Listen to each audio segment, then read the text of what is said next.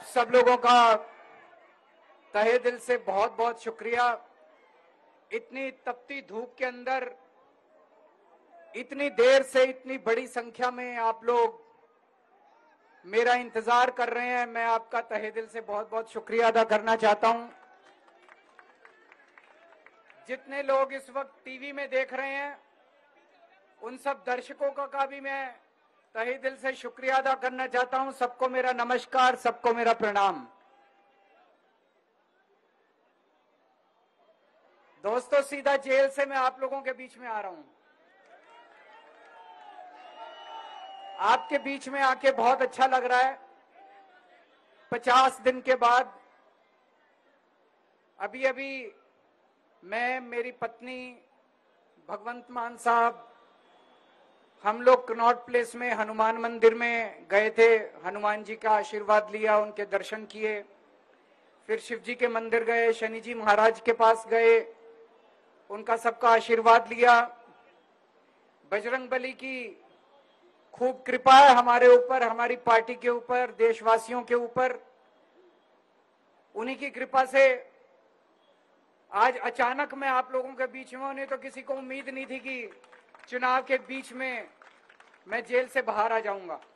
लेकिन ऊपर बजरंग बली की कृपा है हनुमान जी की कृपा है हम लोगों के ऊपर और चमत्कार हुआ और आज मैं आप लोगों के बीच में हूँ। दोस्तों, हमारी आम आदमी पार्टी एक छोटी सी पार्टी है। दो राज्यों के अंदर है अभी दस साल पुरानी पार्टी है। हमारी पार्टी को कुचलने में, खत्म करने में प्रधानमंत्री जी ने कोई कसर नहीं छोड़ी। एक साथ हमारी पार्टी के चार टॉप के नेता जेल भेज दिए एक साथ। अरविंद केजरीवाल, मनीष सिसोदिया, संजय सिंह, सतिंदर जैन। बड़ी बड़ी पार्टियों के अगर चार टॉप के नेता जेल चले जाएँ, पार्टी खत्म हो जाती है। आम आदमी पार्टी के चार टॉप के नेता इन्होंने जेल भेज दिया, उन्होंने सोचा कि पार्टी खत्म हो जाएगी। लेकिन ये पार्टी नहीं है, ये एक सोच है। जितना ये खत्म करना चाहते हैं, उतना ये बढ़ती जाती है। उतना ये बढ़ती जाती है। ये क्रश करना चाहते हैं प्रधानमंत्री जी आम आदमी पार्टी को। जो लोग मोदी जी से मिलने जाते हैं, वो कई लोग हमें भी जानते हैं। वो बाहर आके हमें बताते हैं कि आपके बारे में सबसे पहले मोदी जी से जो भी मिलने जाता है, सबसे पहले वो केजरीवाल की और आम आदमी पार्टी की 10 से 15 मिनट बात करते हैं। उनको कहते हैं कि आने वाले समय के अंदर आम आदमी पार्टी ही देश को भविष्य देने वाली है। वो खुद भी मानते हैं। इसीलिए वो चाहते हैं कि आज ही आम आदमी पार्टी को बढ़ने से रोका जाए, इनको कुचल दिया जाए। ये तानाशाही है। अगर उनको लगता है कि आम आदमी पार्टी आने वाले समय में बीजेपी को चैलेंज देने वाली है, आप अच्छे काम करो। आप देश को भविष्य दो। आज आपकी सरकार है केंद्र के अंदर। आप देश के लिए काम करोगे, आम आदमी पार्टी को कोई पूछेगा ही नहीं। लेकिन आप कुछ काम नहीं करो। और आम आदमी पार्टी को कुचल दो। ये जनतंत्र नहीं है, ये इस देश की जनता पसंद नहीं करती है।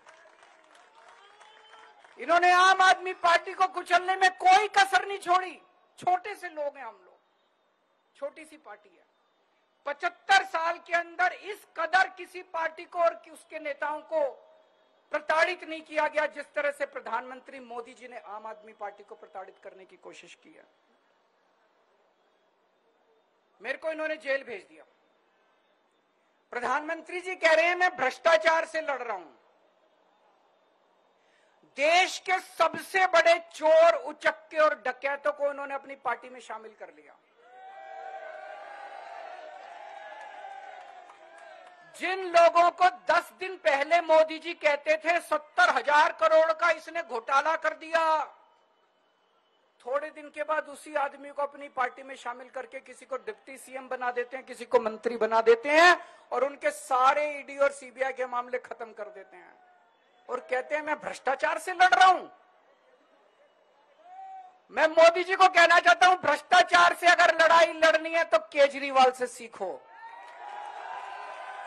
प्रधानमंत्री जी, भ्रष्टाचार के खिलाफ लड़ाई केजरीवाल ने लड़ी है।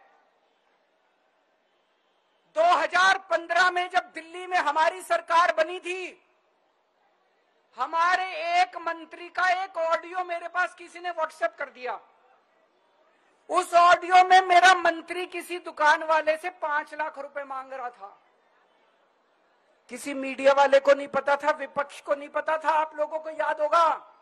मैंने अपने खुद मंत्री को सीबीआई के हवाले कर दिया, जेल भेज दिया था अपने मंत्री को। ये होती है भ्रष्टाचार के खिलाफ लड़ाई। पंजाब के अंदर मेरा एक मंत्री, मेरा एक मंत्री भ्रष्टाचार में मेरे को पता चला कि वो पैसे मांग रहा है। वहाँ पे मान साहब ने उसको, किसी को विपक्ष को नहीं पता था, मीडिया को नहीं पता था, हमने अपने मंत्री को उठा के जेल में भेज दिया। तुम देश के सारे चोर चक्के डकैतों को अपनी पार्टी में शामिल कर लो और केजरीवाल को जेल भेज दो और कहो, मैं भ्रष्टाचार के खिलाफ लड़ रहा हूँ। तो आप भ्रष्टाचार के खिलाफ नहीं लड़ रहे प्रधानमंत्री जी। आप देशवासियों को बेवकूफ़ मत समझो। देश दे, बच्चे बच्चे की ज़ुबान के ऊपर हो रहा है कि सारे चोर चक्कों को अपनी पार्टी में शामिल करके और ईडी और सीबीआई के सारे केस उनके रफा दफ़ा कर देते केजरीवाल को क्यों गिरफ़्तार किया? केजरीवाल को गिरफ़्तार करके उन्होंने एक मैसेज दिया है सारे देश को। कि अगर मैं केजरीवाल को गिरफ़्तार कर सकता हूँ तो किसी को भी गिरफ़्तार कर सकता हूँ। किसी कोई केस नहीं होगा, कोई मामला नहीं होगा, तब भी मैं तुमको गिरफ़्तार कर सकता हूँ। एक बेहद खतरनाक मिशन चालू किया हुआ है, प्रधानमंत्री जी ने, बहुत ही खतरनाक। देशवासियों को यह समझने की, अब जब मैं बोलने जा रहा हूँ, समझने की ज़रूरत है, उस मिशन का नाम है वन नेशन वन लीडर देश के सारे नेताओं को खत्म करना चाहते हैं मोदी जी और इसको दो स्तर के ऊपर इस मिशन को चला रहे हैं।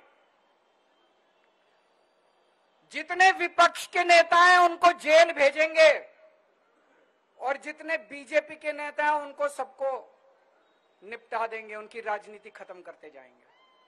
उनको सबको निपटाते जाएँगे। विपक्ष के अंदर आज इन्होंने मनीष सिसोदिया को जेल भेज दिया, संजय सिंह को जेल भेज दिया सत्येंद्र जैन को जेल भेज दिया, केजरीवाल को जेल भेज दिया, हेमंत सोरेन को जेल भेज दिया, ममता दीदी के कई मंत्रियों को जेल भेज दिया, स्टेलिन के कई मंत्रियों को जेल भेज दिया, केरला के सीएम के पीछे पड़े हैं। अगर ये चुनाव जीत गए, मेरे से लिखवा लो एफिडेविट के ऊपर। थोड़े दिन के बाद ममता दीदी जेल में होंगी, तेजस्वी यादव जेल में होगा, स्टेलिन साहब जेल के अंदर होंगे, पिनरई विजयन जेल के अंदर होंगे, उद्धव ठाकरे जेल के अंदर होंगे, जितने विपक्ष के नेता ये सारे जेल के अंदर होंगे। अगर ये चुनाव जीत गए, इन्होंने बीजेपी का एक नेता नहीं छोड़ा। आडवाणी जी की राजनीति खत्म कर दी, इन्होंने मुरली मनोहर जोशी की राजनीति खत्म कर दी, सुमित्रा महाजन की, शिवराज सिंह चौहान जिसने मध्य प्रदेश का चुनाव जीत के दिया इन लोगों ने। शिवराज सिंह चौहान ने उसको मुख्यमंत्री ने बनाया, उसकी राजनीति खत्म कर दी। वसुंधरा राजे की जो राजनीति खत्म कर दी, इन्होंने खट्टर साहब की राजनीति खत्म कर दी, डॉक्टर रमन सिंह की राजनीति खत्म कर दी। अब अगला किसका नंबर है? योगी आदित्यनाथ। अगर ये चुनाव जीत गए, मेरे से लिखवा लो, दो महीने के अंदर उत्तर प्रदेश का मुख्यमंत्री बदल देंगे ये लोग। योगी आदित्यनाथ की राजनीति खत्म करेंगे, उनको भी निपटा देंगे ये लोग। यही तानाशाही है दोस्तों। वन नेशन वन लीडर ये चाहते हैं, एक ही तानाशाह इस देश के अंदर बचेगा, एक ही तानाशाह इस देश के अंदर बचेगा। हमारा देश बहुत महान है। चार हज़ार, पाँच हज़ार साल पुराना हमारा देश है। इसके पहले पिछले चार हज़ार साल में कई मौके आए। जब इस देश के ऊपर तानाशाहों ने कब्जा करने की कोशिश की, लेकिन हमारे देश के लोगों ने उन तानाशाहों का तख्ता उखाड़ के फेंक दिया। जब जब हमारे देश में ऐसा मौका आया कि तानाशाह ने हमारे देश के ऊपर कब्जा करने की कोशिश की, इस देश की जनता ने उसका तख्ता उखाड़ के फेंक दिया।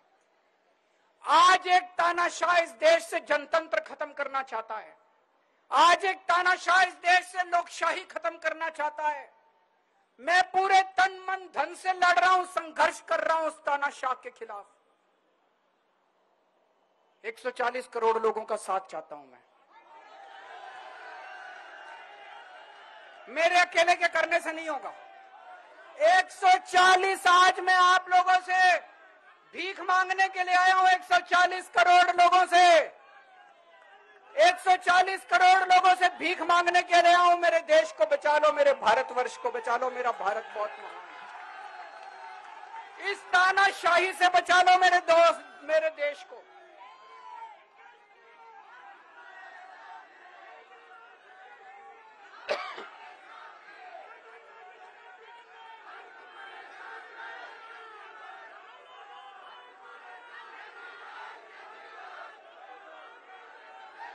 सुप्रीम कोर्ट का बहुत बहुत शुक्रिया अदा करना चाहता हूँ। उन्होंने 21 दिन दिए हैं। एक एक दिन में 24 घंटे हैं। मैं एक दिन में 24 में से 36 घंटे काम करूँगा। पूरे देश भर में घूमूँगा इस तानाशाही को रोकने के लिए, दोस्तों। जितनी मेरे अंदर ताकत है, मैं, मेरा सब कुछ कुर्बान है देश के लिए। मेरा तन, मन, धन, सब कुछ कुर्बान है मेरे देश के लिए। मेरे खून का एक एक कतरा मेरे देश के लिए मेरे शरीर का एक एक कतरा, मेरी ज़िंदगी का एक एक पल मेरे देश के लिए मेरे देश को बचाने के लिए मैं पूरे देश में जाऊँगा, दोस्तों।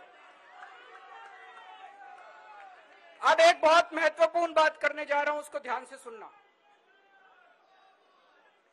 ये लोग इंडिया गठबंधन से पूछते हैं, आपका प्रधानमंत्री कौन होगा? मैं बीजेपी से पूछता हूँ, आपका प्रधानमंत्री कौन होगा? आप लोग सोच रहे होंगे केजरीवाल क्या बात कर रहा है? मोदी जी होंगे। नहीं।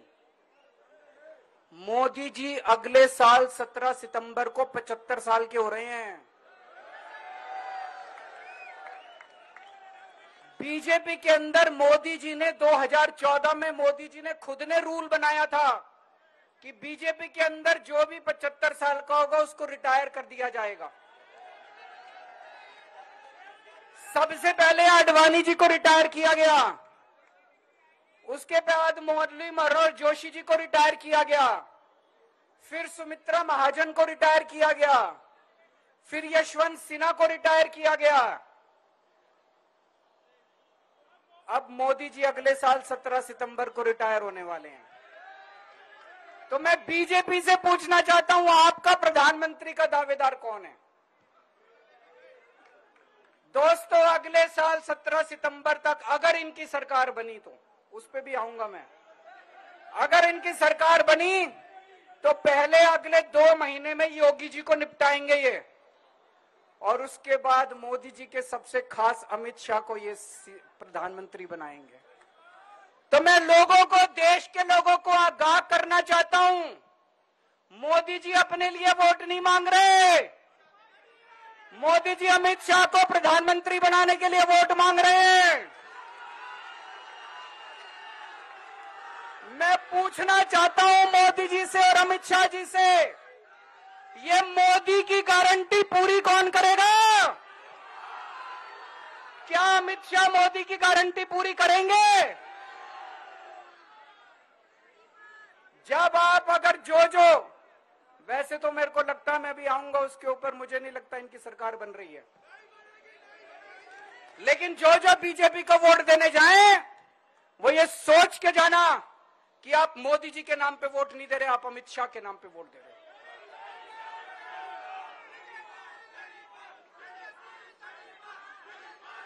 अब एक खुशखबरी आप लोगों के लिए।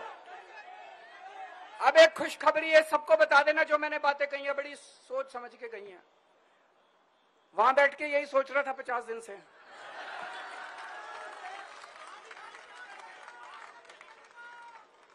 दोस्तों, पूरे देश के मेरे को बाहर निकले हुए 20 घंटे हो गए। इन 20 घंटों के अंदर भी मैंने रात भर में जनता से बात कर रहा था, लोगों से फ़ोन कर रहा था क्या बोल रहे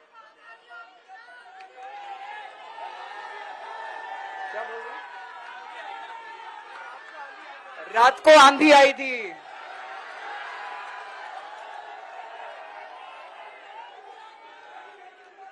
पिछले 20 घंटे में मैंने जो बातचीत करी है, कई बड़े बड़े एक्सपर्ट से बात की, चुनाव विश्लेषकों से बात की सेफोलॉजिस्ट से बात की, जनता से बात की फ़ोन पे लोगों से। मेरा अपना आकलन है कि 4 जून के बाद इनकी सरकार नहीं बन रही, मोदी सरकार नहीं बन रही। दोस्तों, अगर मैं गलत हूँ तो मेरे को बताना, हरियाणा में इनकी सीट कम हो रही है? राजस्थान में कम हो रही है? कर्नाटक में कम हो रही है? दिल्ली में कम हो रही है? बिहार में कम हो रही है? महाराष्ट्र में कम हो रही है? कर्नाटक में कम हो रही है, बंगाल में कम हो रही है, झारखंड में कम हो रही है। बढ़ कहाँ रही है? यूपी में कम हो रही है। बढ़ कहाँ रही है? बढ़ एक भी जगह इनकी सीटें नहीं बढ़ रही हैं। मेरा अपना मानना है और सट्टा बाज़ार में भी जो चल रहा है, इनकी 220 से 230 के बीच में सीट आ रही है, उससे ज़्यादा सीट नहीं आ रही। मोदी सरकार नहीं बन रही है, केंद्र में इंडिया गठबंधन की सरकार बन रही है। आम आदमी पार्टी उस सरकार का हिस्सा होगी। दिल्ली को पूर्ण राज्य दिलाएँगे। दिल्ली का एलजी, लोगों का एलजी होगा, दिल्ली का एलजी, दिल्ली वालों का एलजी होगा, गुजरात से आया हुआ है अभी। दिल्ली के लोगों का एलजी होगा, दिल्ली के लोगों का विकास होगा।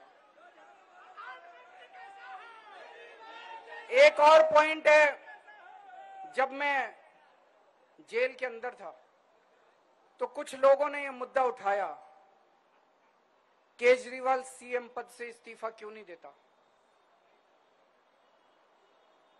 दोस्तों, केजरीवाल को कभी किसी पद का लालच नहीं हुआ। मैं यहाँ मंत्री, मुख्यमंत्री, प्रधानमंत्री, ये सब बनने नहीं आया। इनकम टैक्स में कमिश्नर की नौकरी करता था। कमिश्नर की नौकरी छोड़ के दिल्ली की झुग्गियों के अंदर एक नी दो नी तीन नी दस साल तक मैंने दिल्ली की झुग्गियों के अंदर काम किया है। सुंदर नगरी और नंद नगरी की झुग्गियों के अंदर। इनकम टैक्स कमिश्नर की नौकरी छोड़ के। जब मेरे को दिल्ली की जनता ने पहली बार सीएम बनाया,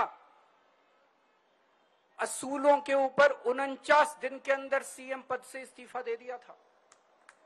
एक चपरासी की नौकरी कोई नहीं छोड़ता। सीएम बनने के लिए लोग अपना दाया हाथ कटाने के लिए तैयार होते हैं। मैंने खुद से अपने आप सीएम की कुर्सी को लात मार दी थी उनचास दिन के अंदर। मेरे लिए सीएम पद इंपॉर्टेंट नहीं है। आज मैंने सीएम पद से इस्तीफा क्यों नहीं दिया जेल जाने के बाद? दोस्तों, पिछले 75 साल में भारतवर्ष में इतने राज्यों के चुनाव हुए, इतने राज्यों के चुनाव हुए। दिल्ली के अंदर सबसे ऐतिहासिक बहुमत से आम आदमी पार्टी जीती, पचपन छप्पन परसेंट वोट। एक बार सड़सठ सीट, एक बार बासठ सीट। इतने भारी बहुमत से आज तक कोई राज्य की सरकार पचहत्तर साल में नहीं जीती। इतने भारी बहुमत से जीतने के बावजूद झूठा केस, अब उनको पता है वो हमें हरा नहीं सकते दिल्ली के अंदर। उन्हें पता है अगले 20 साल तक दिल्ली में आम आदमी पार्टी को कोई नहीं हरा सकता। तो उन्होंने एक षड्यंत्र रचा। राजनीतिक षड्यंत्र रचा। केजरीवाल को झूठे केस में जेल भेज दो। केजरीवाल को इस्तीफा देना पड़ेगा, केजरीवाल की सरकार गिर जाएगी। उन्होंने ये षड्यंत्र रचा, मैंने कहा, मैं भी इस्तीफा नहीं दूँगा। तुम अगर तुम अगर जनतंत्र को जेल में कैद करोगे तो जनतंत्र जेल से चला के दिखाएँगे दोस्तों। सरकार भी जेल से चला के दिखाएँगे, कतई इस्तीफा तुम्हारे ट्रैप में फंसने वाले नहीं है हम। ये अगर हेमंत सोरेन साहब को भी इस्तीफा नहीं देना चाहिए था, जेल से सरकार चलानी चाहिए थी। अगर हमने इस्तीफा दे दिया, ये तो बड़ा अच्छा इनके लिए जिस राज्य के अंदर ये चुनाव हारेंगे उसके मुख्यमंत्री को पकड़ के जेल में डाल दो, सरकार गिरा दो, उसके मुख्यमंत्री को पकड़ के जेल में डाल दो, सरकार। आज मैं अगर दिल्ली की जेल के अंदर रह के दिल्ली की जेल से इस्तीफा नहीं दे रहा, वो इस तानाशाही के खिलाफ संघर्ष कर रहा हूँ, इसको समझ लेना केजरीवाल को किसी पद का लालच नहीं है। सीएम तो सौ सीएम की कुर्सी देश के नाम कुर्बान है, दोस्तों। मुझे पता चला मेरे जेल जाने से बहुत लोग भावुक हुए, खासकर मेरी माँ, बहनें, महिलाएँ, बहुत रोई। कईयों ने बहुत मन्नतें मांगी। मैं सबका बहुत बहुत शुक्रिया अदा करना चाहता हूँ, जिन लोगों ने अपनी दुआएँ, करोड़ों करोड़ों लोगों ने अपनी दुआएँ भेजी हैं। पूरी दुनिया भर से करोड़ों लोगों ने दुआएँ भेजी। उन्हीं के आशीर्वाद का कमाल है कि आज मैं आप लोगों के बीच में हूँ। आप लोग सब लोग सुखी रहें। देश खूब तरक्की करे फले फूले आप सब लोग खूब खुश रहे ऐसी मेरी प्रभु से इच्छा है। भारत माता की। राष्ट्र राष्ट्रगान के लिए अपने जगह पर सभी लोगों से आग्रह है कि खड़े हो जाएँ प्लीज़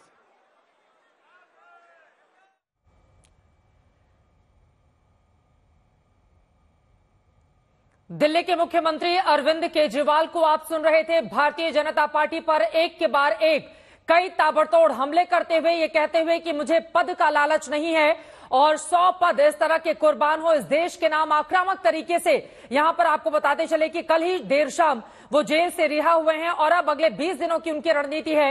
ये भी दावा करते हुए कि अगले 24 जो 24 घंटे होते हैं, एक दिन में मैं सैंतीस घंटे काम करूँगा देश भर का दौरा करूँगा। भारतीय जनता पार्टी को लेकर कई आरोप लगाते हुए ये कहते हुए कि उनकी सीटें 220 से 230 ही आने वाली हैं। हरियाणा, राजस्थान, कर्नाटक, दिल्ली, बिहार, महाराष्ट्र, बंगाल, झारखंड, यूपी में उनकी सीटें कम होने जा रही हैं। इंडिया गठबंधन की सरकार बनेगी, आम आदमी पार्टी की इसमें हिस्सेदारी होगी और दिल्ली को पूर्ण राज्य का दर्जा दिलाएँगे। यहाँ पर देखिए अपने कार्यकर्ताओं को फ्लाइंग किस करते हुए यहाँ पर दिखाई दे रहे हैं। दिल्ली के मुख्यमंत्री अरविंद केजरीवाल, माताओं बहनों का खासतौर से धन्यवाद उन्होंने कहा ज्ञापित किया। ये कहते हुए कि उनका आशीर्वाद है कि मैं इतनी मजबूती से यहाँ पर खड़ा हुआ हूँ।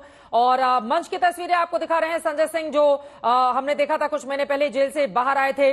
भगवंत मान कल लेने गए थे दिल्ली के मुख्यमंत्री को जब तिहाड़ जेल में वो बंद थे और बाहर निकल रहे थे। और यहाँ पर आम आदमी पार्टी का उत्साह बढ़ा हुआ है। उनका यह कहना है कि अगर जनतंत्र को जेल में रखने की कोशिश की जाएगी तो फिर जनतंत्र को मैं जेल से ही चलाऊँगा, तानाशाही के खिलाफ लोगों को जागरूक करूँगा और देश भर के दौरे पर रहूँगा। दिल्ली के मुख्यमंत्री अरविंद केजरीवाल की ओर से ये तमाम बड़ी बातें कही गई हैं। तानाशाही रोकने के लिए देश भर में जाऊँगा।